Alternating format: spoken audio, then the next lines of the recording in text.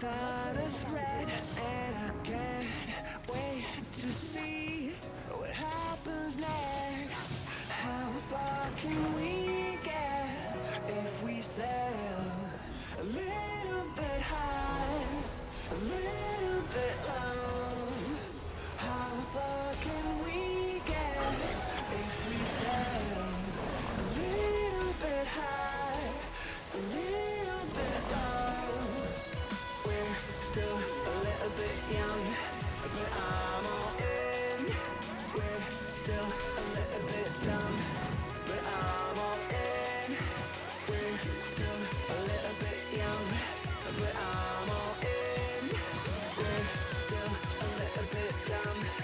um,